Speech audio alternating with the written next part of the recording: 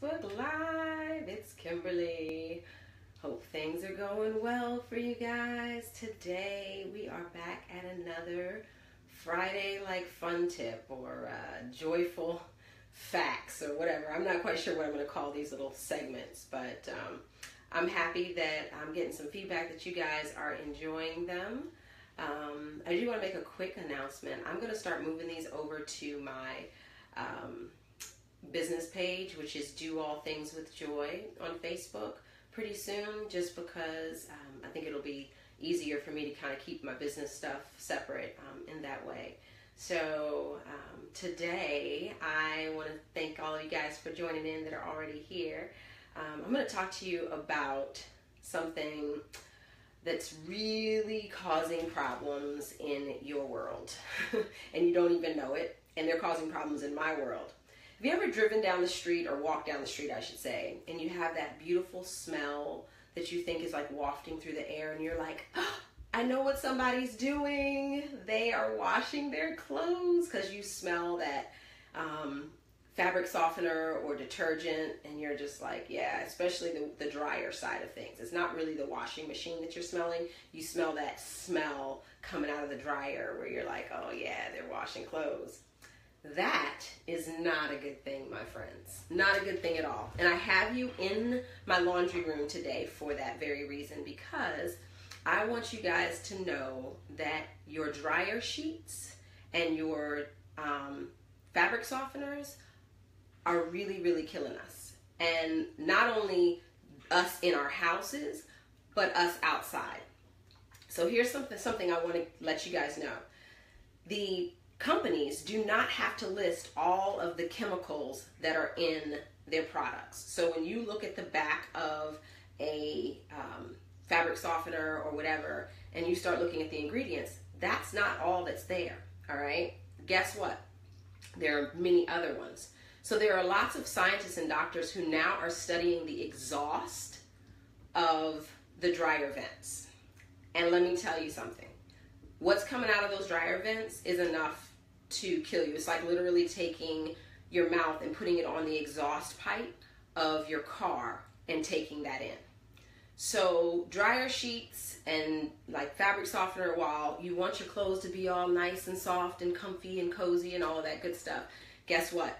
Not the best. So, they have um, things like benzene that have been found in it and also um, acetaldehyde. Now, I know I don't want benzene, acetaldehyde, and formaldehyde in my body, on my body, on my clothes, as I'm hugging my kids. Definitely not. And some of the things that it shows up physically in our bodies has to do with migraines, asthma, just like we were talking about the scented candles, like asthma, migraines, um, what else? Eye and throat irritations, skin, sometimes sometimes um, eczema, psoriasis, things like that are exacerbated with these things. Um, and then also the acetone in the sheets can trigger dizzy spells. So people that have vertigo or issues with that.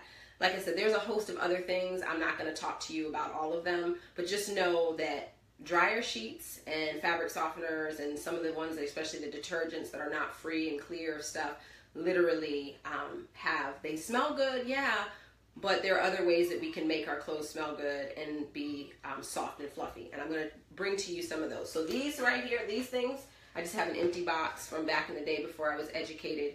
Um, it needs to be out, out of your life. And I'm sorry, I don't, I don't hate on brands. I really actually love Costco, but the fact that they had the dryer sheets, not so good. All right, so that. But now, what do you say? Okay, Kimberly, what do I do? What do I get? What is it that I should use? I still want my clothes and my towels to be fluffy soft. Well, go on Amazon or some some stores have them, even grocery not grocery stores, but drugstores or you know Target places like that, and get something called wool dryer balls. All right, they make them in plastic as well, but remember what I told you before. We want to stay away from plastic. We don't want to have so much plastic in our lives. So these are wonderful. These little wool dryer balls, and I got in my package. I think it was six of them and um, you just throw them in the washing machine and they the, go around and your clothes will not have static electricity but you're like okay kim i don't care the fact that they're kind of like soft and they don't have static in them i want them to kind of smell good well that's where you can get some essential oils i like to use my Young Living Purification, and I drop a few drops of purification on my dryer balls, and they go around with my clothes, and then my kids' stuff doesn't smell like the nasty football clothes that they are.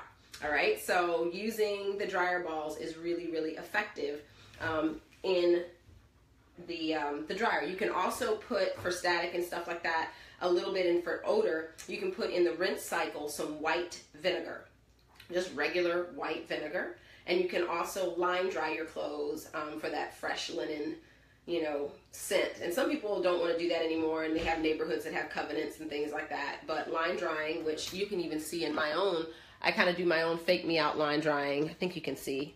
Yeah, so everybody can grab things like that and can dry some of their clothes as well in that particular way. So there's all kinds of things you can do, um, you know, to still have fresh clothes, to still have soft clothing. However, we don't have to kill ourselves and also kill our neighbors because you know, my kids are walking outside, we're killing the animals, we're doing all kinds of stuff with these emissions. Like if we were just to take dryer sheets and stuff like that out of our daily cycle, the emissions of like the car exhaust is also is like monitored, right? Well, they're not monitoring dryer vents, but guess what? That's really hurting the ozone more in some instances than cars because of how much it's used. So, guys, be safe. Do what you need to do um, in changing some products out in your house. It doesn't take much. And trust me, this is a lot less expensive. These dryer balls, I think six of them came for like $12 or $13, no more than 15 for these dryer balls. And then they last forever unless you lose one, right? So, cost effective and um, extremely healthy. All right, guys, you know what I'm about to say. It's the end of our Friday. You've been great. Remember to do all things with joy. And remember, hop on over to my um, business page, which is Do All Things with Joy on Facebook and Instagram and um, all of that good stuff. And uh, I'm going to be bringing these Facebook Lives from there starting next week. So, peace and blessings. Love you guys, and I will talk to you next Friday. I have a really great topic. Um, it's about a movie that everybody has been talking about. All right. Peace and blessings. Bye bye.